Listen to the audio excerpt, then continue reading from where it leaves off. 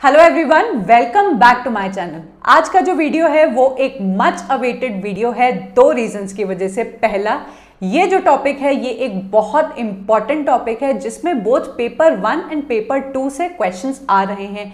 Second इस topic से related आपको इंटरनेट पे बहुत ही लिमिटेड मटेरियल मिलता है और अगर मिलता है तो उसमें बड़े बड़े पैराग्राफ्स यूज़ करके आपको समझाया गया है जो आपको एक क्लियर कट इंफॉर्मेशन नहीं देता है। In this video we are going to see all three styles in to the point context along with the question जो कि हम लोग इस चैनल पे हमेशा करते हैं कि सिर्फ़ इंफॉर्मेशन नहीं गेन करते हैं विथ प्रूफ हम लोग देखते हैं कि किस तरीके के क्वेश्चन आ रहे हैं।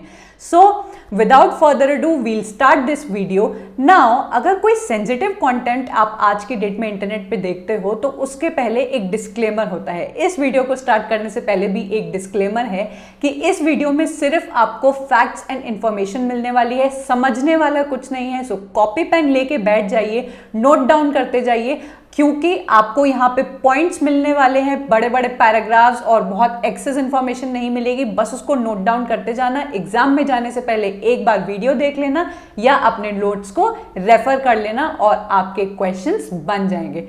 So without further do let's get started with the video अब तीनों स्टाइल्स को देखने से पहले हम लोग सबसे पहले देखेंगे कि आखिर साइटेशन होता क्या है। बहुत सिंपल सा example I will give you कि जब हम लोग छोटे थे स्कूल टाइम में हम लोग प्रोजेक्ट लिखा करते थे तो हमारे टीचर्स कहते थे कि आपको प्रोजेक्ट के एंड में एक बिब्लियोग्राफी लिख कर लानी होगी। ये बताते हुए कि आपने जो कॉन्टेंट लिखा है, वो कहाँ कहाँ से आपने गेन किया है। एंड लास्ट पेज में प्रोजेक्ट के एंड में हम लोग ये काम कर देते थे। इंटरनेट से सोर्स लाते थे या फिर किसी बुक का नाम लिख देते थे। एंड दैट दैट्स इट वही सेम काम आपको रिसर्च की फ़ील्ड में भी करना होता है।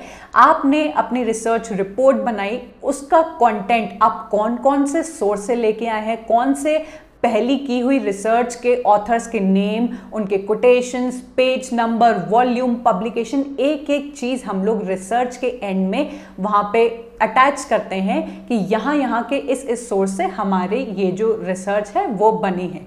ऐसा करना क्यों ज़रूरी है?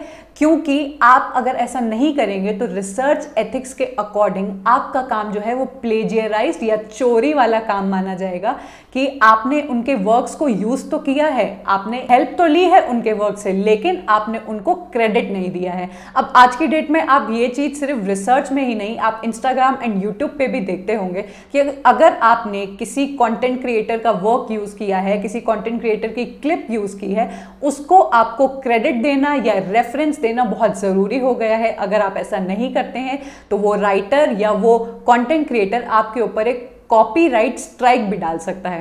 ये एक एक्स्ट्रा इन्फॉर्मेशन हो गई ऑफ़ टॉपिक नहीं जाते हैं बट ये समवट उससे ही रिलेटेड है कि आप साइटेशन एक रिसर्च में क्यों देते हो? क्योंकि आप उस ऑथर का जिसका काम यूज़ कर रहे हो, उसका रेफरेंस देना ज़रूरी है अदरवाइज़ आपका वर्क प्लेजराइज या ऑथेंटिक नहीं माना जाएगा। अब आपके उस साइटेशन में वो कौन सी इंपॉर्टेंट चीज़ें हैं जो आनी चाहिए?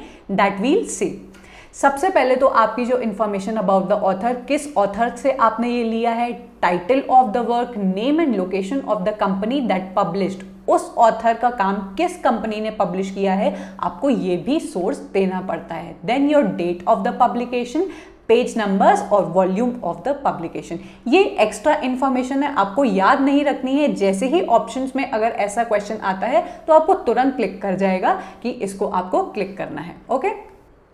ये I have already told you कि आपको why should I cite sources आपको पीपल के वर्क का सोर्स देना ज़रूरी है।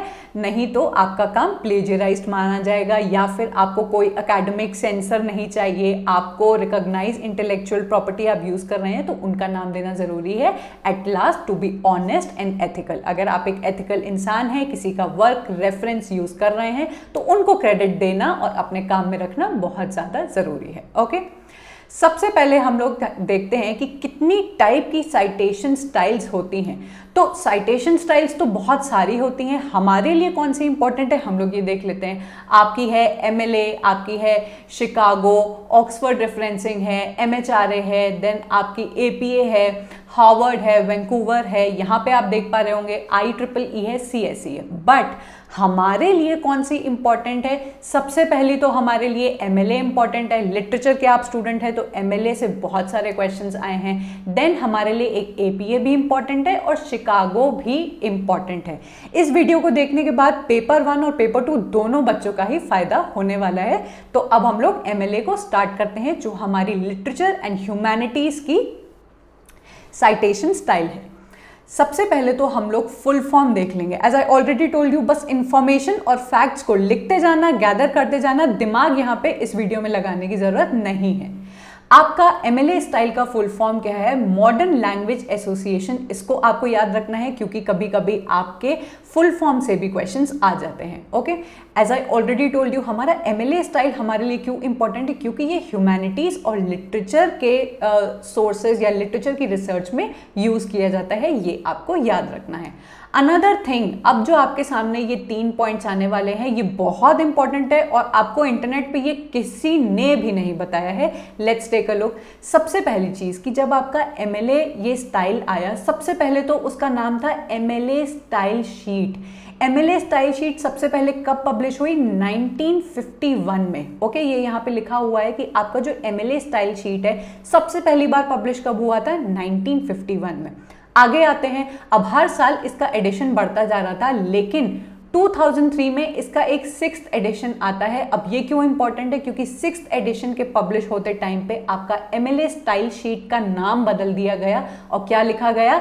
एमएलए हैंडबुक जो हम लोग आज भी यूज़ करते हैं। The full form is MLA handbook for writers of research paper तो आपको याद रखना है कि 1951 में एमएलए स्टाइल शीट के नाम से सबसे पहले पब्लिश हुआ। देन हमारा जब सिक्स एडिशन आया 2003 में तब इसका नाम चेंज कर दिया गया। नेक्स्ट अब जो हम लोग यूज़ कर रहे हैं, वो है हमारा latest edition which is the ninth edition ये कब आया था? हमारा अप्रैल 2021 में आया था। अब एग्ज़ाम पास आने वाले हैं और अगर आप प्रीवियस ईयर पेपर्स को प्रैक्टिस कर रहे होंगे तो आपको मोस्ट ऑफ़ द क्वेश्चंस दिख रहे होंगे एट्थ एडिशन में से। Okay okay? तो अब अगर एथ एडिशन से क्वेश्चन आ चुके हैं और 2021 में हमारा एडिशन अपडेट हो चुका है तो आपको क्या नहीं लगता है कि नाइन्थ एडिशन से अब क्वेश्चंस आएँगे?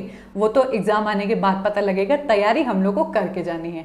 तो ये तीन चीज़ें आपको इंपॉर्टेंट थी जानना, ये आपको पता लग गई। अब हम लोग MLA स्टाइल शीट के स्टाइल के बारे में थोड़ा सा जानते हैं। सबसे पहला ये इन टेक्स्ट साइटेशन और रेफरेंस दोनों यूज़ करता है। एक चीज़ जो आपको स्टार्टिंग में ही I should have told you in citation का मतलब होता है कि आप काम लिखते लिखते ही किसी का रेफरेंस दे देते हो। वो रेफरेंस बहुत शॉर्ट में होता है कि आपने सिर्फ़ नाम और पेज नंबर बता दिया कि इस राइटर का आपने नाम यूज़ किया है या काम यूज़ किया है, वो भी इस पेज नंबर से।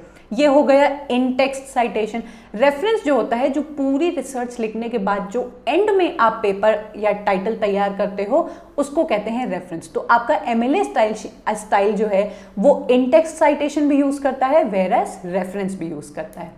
अब आगे बढ़ते हैं और देखते हैं कि रेफरेंस जो वो यूज़ करता है, उस पेज का नाम भी अलग होता है. आप एमएलए स्टाइल में जब रेफरेंस यूज़ करोगे तो उस पेज का जो टाइटल होगा, वो होगा वर्क्स साइटेड ये आपको याद रखना है। आगे बढ़ते हैं। अब हमारे वर्क साइटेड का जो पेज होता है, उसमें जो भी आप लिस्टिंग करोगे, वो अल्फाबेटिकल ऑर्डर में करोगे। ओके ये चीज़ आपको याद रखनी है।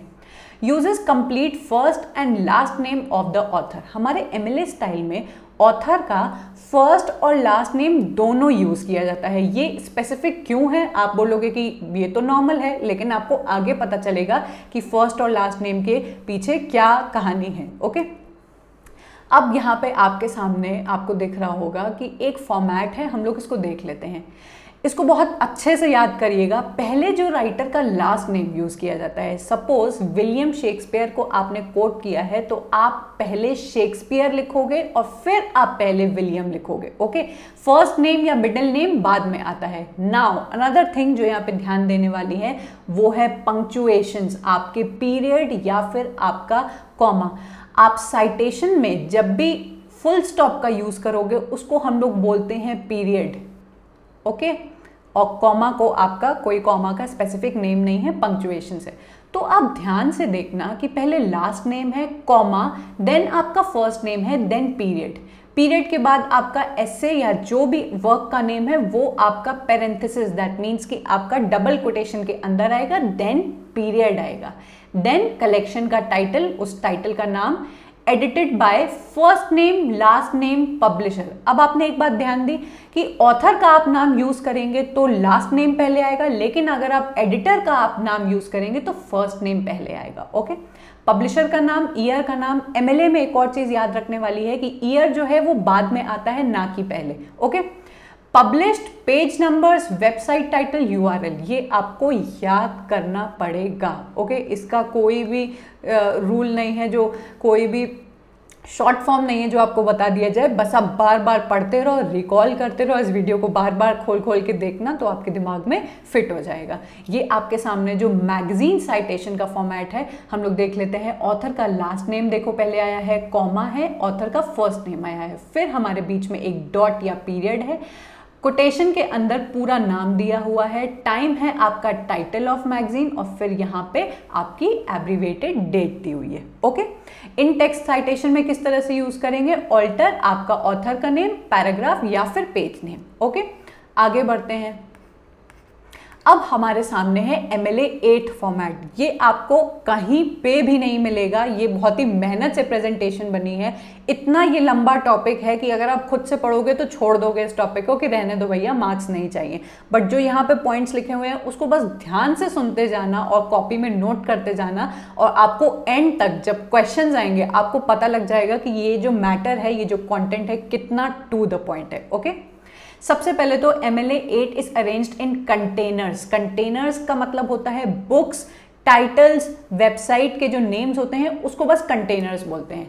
देखो books journals and websites are examples of containers आपके एट फॉर्मेट के अंदर कंटेनर के अंदर कंटेनर हो सकता है। सपोज़ आपने किसी जर्नल से अपना कोटेशन uh, उठाई है और वो जर्नल वेबसाइट पे है तो आप वेबसाइट का भी नाम दोगे और वेबसाइट के अंदर आने वाली जर्नल का भी टाइटल का नाम दोगे। ओके बस इतना। अब हम लोग के एट्थ एडिशन में कुछ इंपॉर्टेंट चीज़ें हैं जो आपको याद करनी है, बहुत अच्छे से। Volume and issue number are listed using abbreviation हम लोग ने देखा ऊपर कि वॉल्यूम या फिर आप आगे देखोगे V O L abbreviated form में वॉल्यूम लिखा होगा और नंबर लिखा होगा। इसको याद रखना। Then place of publication is omitted ये क्वेश्चन आया है कि आपके एट्थ एमएलए के फॉर्मेट में वो कौन सी चीज़ है जो सेवेंथ एडिशन में थी, लेकिन एट्थ एडिशन में अब उसको हटा दिया गया है। तो आपकी प्लेस ऑफ़ पब्लिकेशन को हटा दिया गया है। ये आपको याद रखना है। ओके आगे बढ़ते हैं। Publishers name are now given in full पहले नहीं दिया जाता था, लेकिन अब पब्लिशर का नाम भी फुल में लिखा होगा। लेकिन उसकी कंपनी वहाँ पे नहीं आएगी और यू और पी या फिर यूपी वहाँ पे आपको कुछ दिखाई देगा। आगे क्वेश्चन आएगा तो ये आपका कंफ्यूजन क्लियर होने वाला है, चिंता मत करना okay M L eighth edition format okay का फोर्थ पॉइंट है पेज नंबर्स और आर डेजिग्नेटेड एज पी और पीपी आप अगर पेज नंबर लिखोगे तो उसके साथ आगे लिखोगे पी या पीपी देखो वॉल्यूम आएगा इसके अंदर पी और पीपी आएगा पब्लिशर का नाम आएगा यू और पी कैपिटल में लिखा होगा देन आपका प्लेस ऑफ़ पब्लिकेशन हटा दिया गया है। इतने पॉइंट्स अभी तक आपको याद हो जाने चाहिए। आगे fifth point U R L is now normally given for a web source आप यू आर एल वेबसाइट से अगर उठाते हो तो आप उस वेबसाइट का नाम लिखोगे, लेकिन एच टी टी पी को नहीं लिखना है आपको. Without H T T P या फिर ये जो फॉर्मेट है, आपको वो नहीं लिखना है. डायरेक्ट आपको वेब का सोर्स देना है. ठीक है? अनदर चीज़ एंगल ब्रैकेट्स भी आपको यूज़ नहीं करने हैं। आप देखते होंगे कि बहुत सारे ब्रैकेट्स होते हैं आपकी वेबसाइट में तो वो भी आपको यूज़ नहीं करना है, ठीक है? Common terms are no longer abbreviated अब जो कॉमन टर्म्स हैं, उनको एब्रीवेटेड फॉर्म में नहीं फुल फॉर्म में लिखा जाएगा। दैट मीन्स कि एडिटर आपको दिखेगा एडिटेड बाय दिखेगा ट्रांसलेटर दिखेगा। ये जो कॉमन टर्म्स होते हैं, उसका एब्रीवेशन नहीं यूज़ होगा फुल यूज़ किया जाएगा ओके? अब हम लोग फिर से इसका थोड़ा सा फॉर्मेट देख लेते हैं।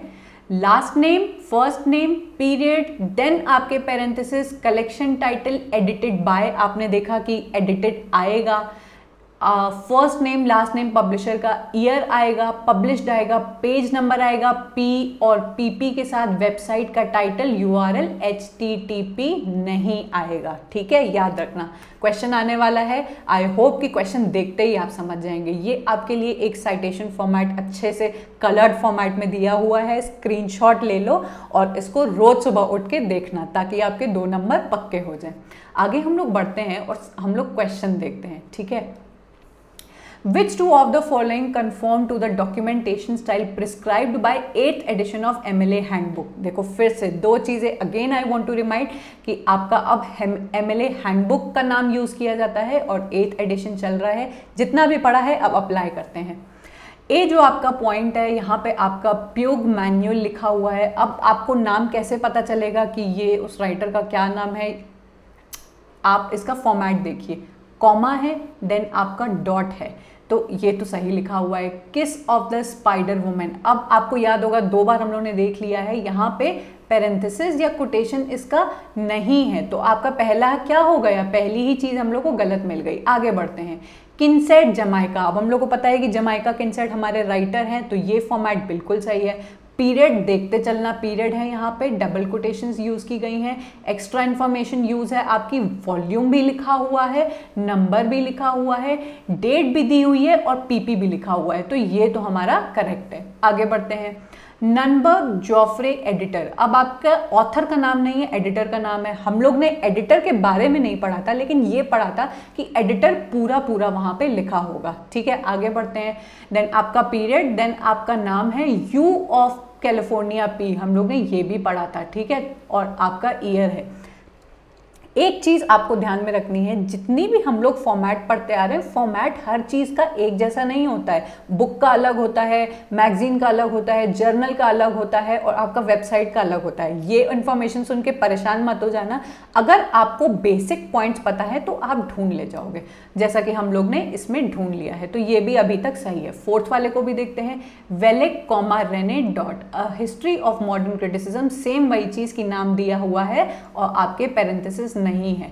अब आगे हम लोग देखते हैं ईयर देखो किस तरीके से दिया हुआ है। इस तरीके से आपको ईयर नहीं देना है। ये यूपी प्लेस ये दी हुई है, ठीक है? प्लेस नहीं यूज़ करनी है तो ये आपका गलत हो जाता है और हमारा आंसर बन जाता है बी एन सी जो कि हमारा करेक्ट आंसर है। ओके आगे बढ़ते हैं।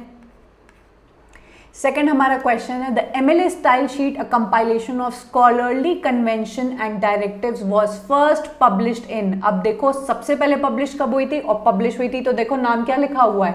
स्टाइल शीट हम लोग ने ये देखा है कि 1951 में सबसे पहले ये पब्लिश हुई थी तो 1951 हमको मिल गया। ठीक है? आगे बढ़ते हैं।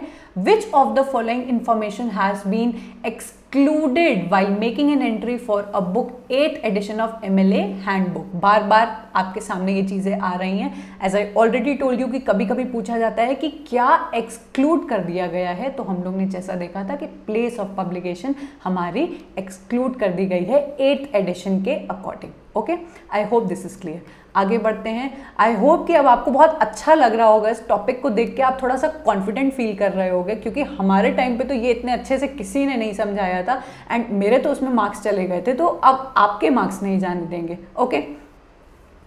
Which two of the following citations conform to the documentation format of 8th MLA handbook? अब एक चीज़, जो ये वाला क्वेश्चन था, इसमें यूजीसी ने सबको मार्क्स दिए हैं। करेक्ट आंसर मतलब कि इसमें सबको मार्क्स मिले हैं, या फिर ये क्वेश्चन ही गलत था। अब जो आपको जितनी भी स्टाइल हमने पढ़ाई फॉर्मेट बताया, उसके अकॉर्डिंग इसमें से करेक्ट ढूंढ लेना, ये आपका होमवर्क है। आगे हम लोग बढ़ते हैं।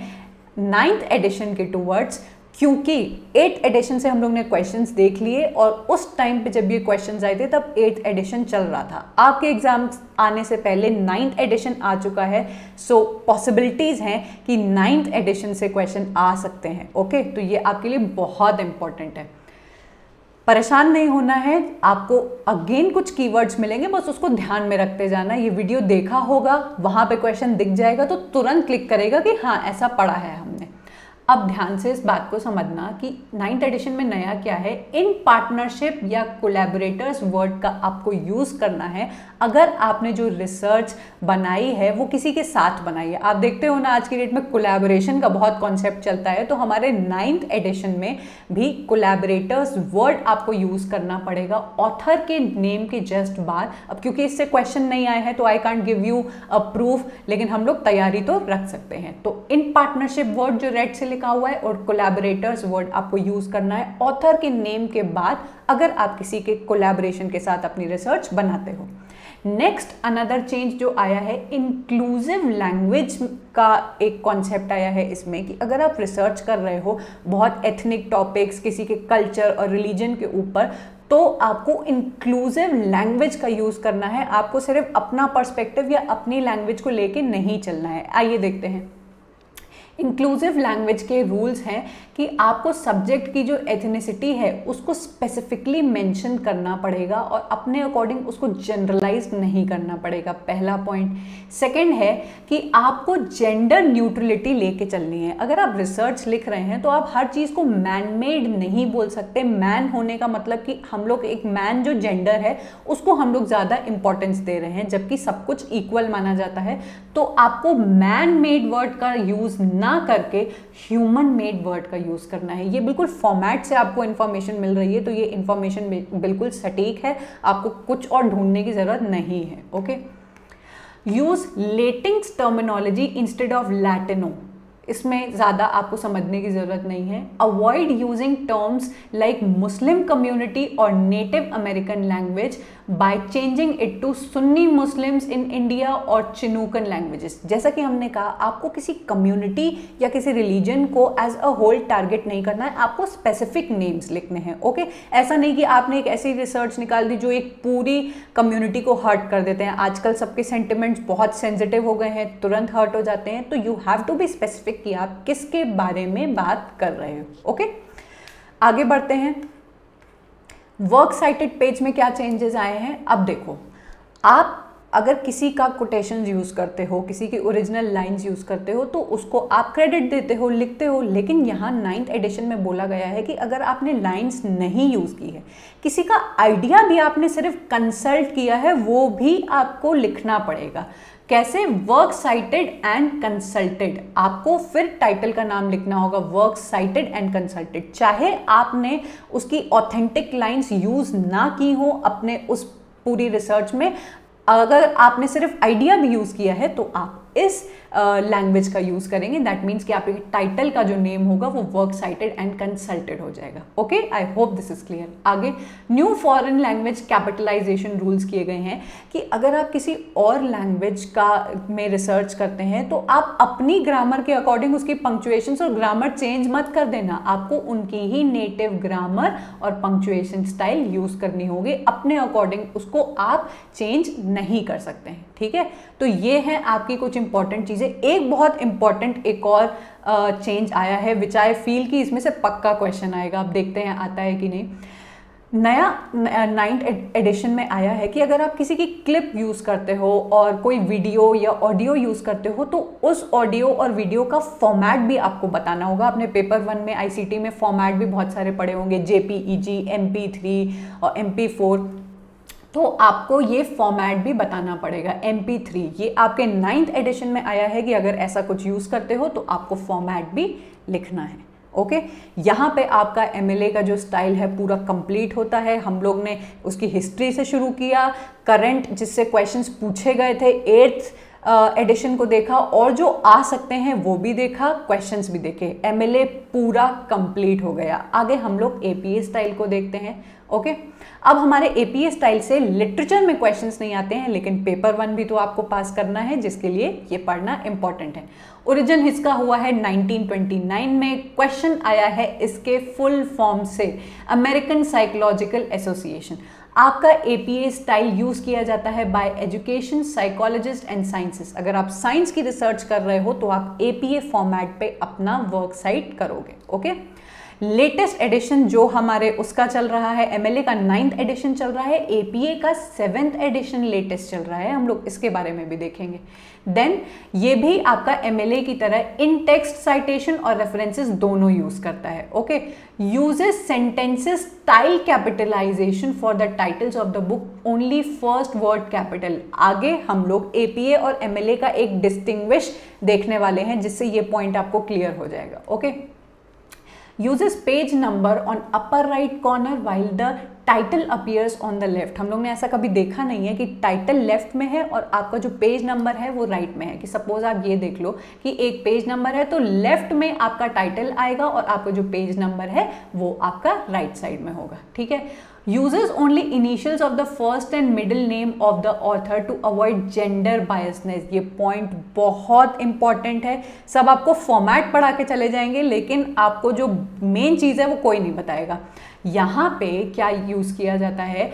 आपका जो राइटर का मेन नेम है, उसका सिर्फ़ इनिशियल आप यूज़ करोगे। विलियम शेक्सपियर का हम लोग नाम यूज़ करते हैं। तो वहाँ पे सिर्फ़ विलियम लिखा होगा और आपका एस लिखा होगा। ऐसा इसलिए कि आपको पता ना चले या जो उस रिसर्च को देखने वाला इंसान हो, वो बायस्ड ना हो कि ये काम किसी लड़के ने लिखा है तो उसको दूसरी नज़र से देखें। इस काम को किसी लड़की ने लिखा है तो उसको दूसरी नज़र से देखें। बायसनेस यहाँ पे नहीं होती है, जब पहला नाम आपका हट जाता है ओके ये शेखर ने लिखा है या सुनैना ने लिखा है, ये नहीं पता लगेगा ओके अगर आप अपने ऑथर के नेम्स अब आप जब मेंशन कर रहे हो और वहाँ पे दो ऑथर्स के नेम आपको मेंशन करने हैं तो दोनों के बीच में एम परसेंट का साइन आ जाएगा। आगे, आप छह ऑथर के नाम देना चाहते हो तो वहाँ पे आपको एट ऑल वर्ड का यूज़ करना है। पहले ऑथर का नाम लिख दोगे और आगे आप एट ऑल यूज़ कर दोगे। ठीक है? छह राइटर्स याद रखना। Okay okay? बुक रेफरेंस का name should be in italics बहुत अच्छा तरीका है ये ढूँढने का कि जो बुक का जो नाम होता है, जहाँ हम लोग ऊपर देख रहे थे एमएलए में, वो दो कोटेशन के अंदर आता है, यहाँ पे क्या होगा, वो इटैलिक्स में होगा, ठीक? अनदर वेरी इंपॉर्टेंट पॉइंट जो यहाँ पे रेड से दिया हुआ है the year is specifically mention along with the authors name हम लोग ने एमएलए में देखा कि जो ईयर है, वो हमारा लास्ट में कहीं जाके आता है, लेकिन यहाँ पे एपीए में तुरंत आपके ऑथर के नाम के बाद आपको ब्रैकेट में ईयर दिख जाएगा। तो ये सारी इंपॉर्टेंट पॉइंट्स है जो आपको दिखाएगा। दोनों में डिफरेंस देखो थॉमस कॉमा एच के मतलब आपका मिडिल नेम और फुल नेम आपका फिर पीरियड आ जाएगा देन आपका ईयर आ जाएगा। देन आपका नेम आ जाता है। देन आपकी एक्स्ट्रा इन्फॉर्मेशन आ जाती है। ये मैगजीन का अगेन साइटेशन यूज़ किया गया है। ये ऑथर का लास्ट नेम पहले कॉमा के बाद फ़र्स्ट नेम पीरियड देन आपका ईयर देन आपका आर्टिकल का टाइटल आप देख पा रहे होंगे कि अब ये नहीं यूज़ किया गया है ओके पब्लिकेशन है आपकी पब्लिकेशन की एक्स्ट्रा इन्फॉर्मेशन और पेज नंबर ठीक है?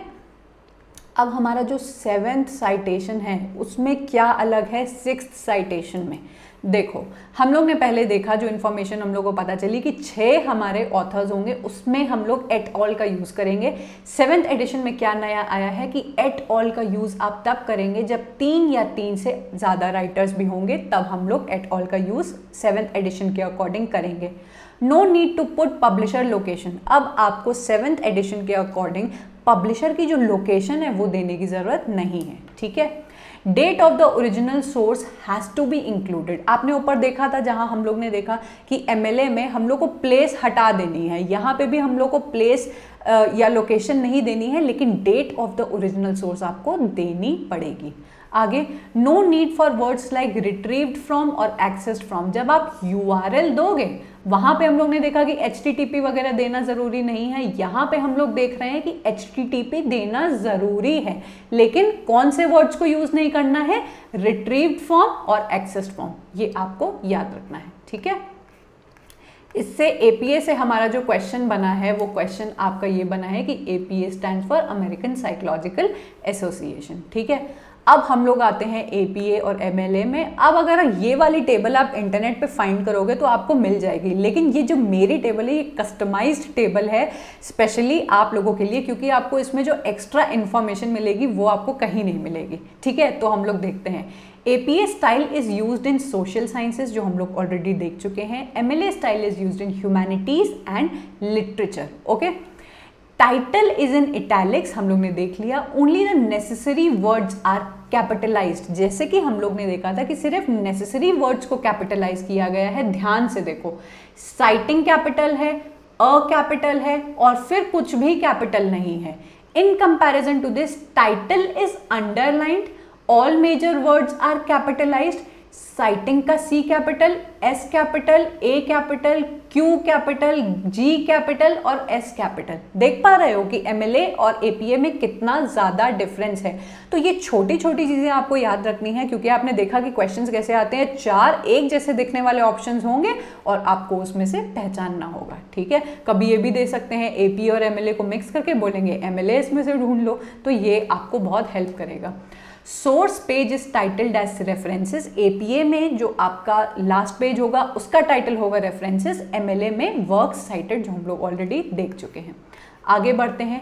एपीए वर्सेस एमएलए में आगे हम लोग देखते हैं। Last name of the author is use जो हम लोग ऑलरेडी देख चुके हैं कि लास्ट नेम पहले आएगा देन उसका फ़र्स्ट नेम बाद में आएगा और उसका सिर्फ़ इनिशियल यूज़ करेंगे।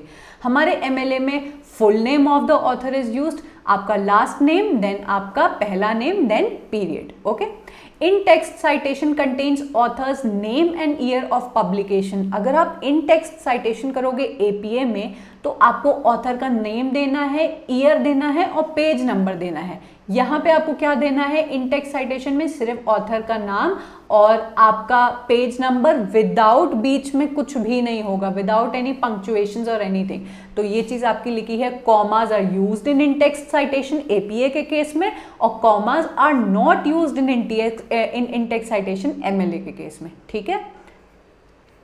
आगे बढ़ते हैं। अब ये टाइट अब ये जो है ये आपके लिए एक्स्ट्रा इन्फॉर्मेशन है, जो हम लोग से एक चीज़ मिस हुई है, वो है टाइटल पेज कि M L A P A में आपका टाइटल पेज रिक्वायर्ड होता है, लेकिन एम एल ए में आपका टाइटल पेज नहीं रिक्वायर्ड होता है। इसका स्क्रीनशॉट ले लेना, बाद में अच्छे से पढ़ लेना, बाकी चीज़ें सारी वही हैं जो already I have told you okay तो आई होप आपको एम एल ए दोनों अभी क्लियर हो गए होंगे। आगे हम लोग बढ़ते हैं और शिकागो स्टाइल को देखते हैं।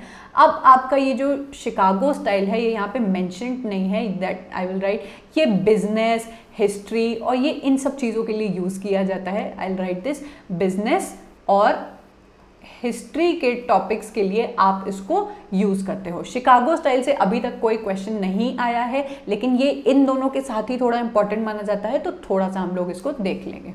Chicago is a documentation style that was published by Chicago university press ये नाम याद रख लेना. सिंस 1906 नो इंटेक्स्ट साइटेशन हम लोग ने देखा एपीए एमएलए दोनों में इंटेक्स साइटेशन यूज़ की जाती है। इसमें इंटेक्स साइटेशन नहीं होता है, बल्कि इसमें फुट नोट्स और एंड नोट्स होते हैं, ठीक है? यहाँ पे आपको मिल जाएँगे फुट नोट्स और आपके एंड नोट्स आपको पता होगा फुट नोट्स और एंड नोट्स क्या होते हैं कि किसी भी, कोई भी एक्स्ट्रा इन्फॉर्मेशन वो पेज के एंड में आपको बस दी होती है, ठीक है? रेफरेंस पेज का नाम होता है बिब्लियोग्राफी तीनों के रेफरेंस पेज का आप नाम देख पा रहे हो, अलग है।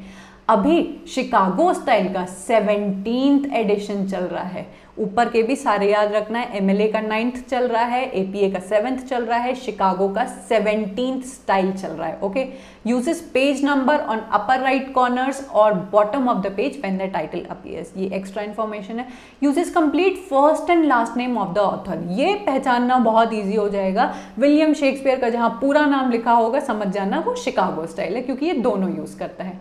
Authors first name last name ठीक है? और ये नॉर्मल फॉर्मेट में होता है। Place of publication publisher year page numbers देखो यहाँ पे आपके लिए है Albert Einstein the meaning of relativity relativity then आपका यूनिवर्सिटी प्रेस जहाँ से यूज़ किया हुआ है date and then meaning of relativity authors का लास्ट नेम ऑथर का फ़र्स्ट नेम ठीक है? ये आपके लिए कलरफुल फॉर्मेट में है। स्क्रीनशॉट ले लो, चाहे बाद में इस वीडियो को फिर से देख लेना। तीनों तरीके से बताया है कि बिब्लियोग्राफी कैसे यूज़ होगी नोट कैसे होगा और इनटेक्स साइटेशन वगैरह सब कुछ दिया हुआ है, ठीक है? तो आई होप ये वीडियो आपको समझ में आई होगी। हम लोग इस वीडियो के एंड तक पहुँच गए हैं। Trust me, this was very difficult to do. It took me a lot of time, but i only wanted to bring this video जब जो वीडियो में हो, दम हो और आपका टाइम ना वेस्ट हो और कुछ ही टाइम में आपको मैक्सिमम इन्फॉर्मेशन मिल जाए विद क्वेश्चन विद प्रूफ तो आई होप आपको ये वीडियो अच्छा लगा होगा। वीडियो आपको फ्रूटफुल लगा हो, आपके काम आया हो तो प्लीज़ इसको सपोर्ट करिएगा, अपना लाइक ज़रूर दीजिएगा इस वीडियो को सब्सक्राइब करना इस चैनल को, क्योंकि आगे भी ऐसे वीडियोस आने वाले हैं okay so that's it for this video stick to this channel if you like my teaching style and the vibe of this channel and I meet you in our next video next video जो आपका आने वाला है, वो है research के बहुत सारे क्वेश्चंस हमारी जो क्वेश्चन सीरीज़ चल रही है उस पर तो प्लीज़ वो भी जाके देखना, आपके बहुत काम आने वाला है रिवीजन के टाइम पे। And yes that's it for this video I meet you all in the next video so bye and take care